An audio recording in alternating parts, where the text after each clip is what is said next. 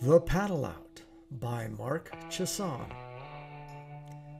In life, we're often called upon to overcome challenges and do things we don't enjoy, especially when we are seeking to fulfill big goals.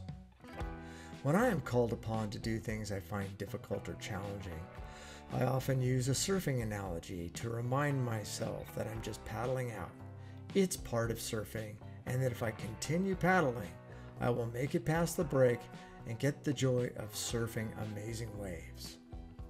The paddle out is the part of surfing that makes us stronger, expands our lungs, strengthens our muscles, and increases our courage.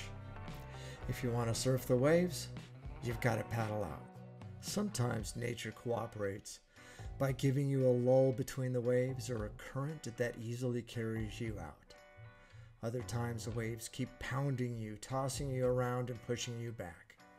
Wisdom and skill are gained from learning such things as when to dive under, go over, or go around the wave, and learning when to let go, relax, and conserve air.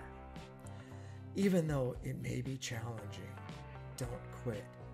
Be tenacious, keep paddling.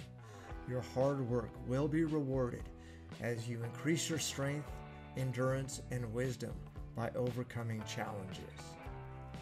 You will soon be surfing the waves of your dreams and experiencing the stoke of dancing with the waves and the forces of nature.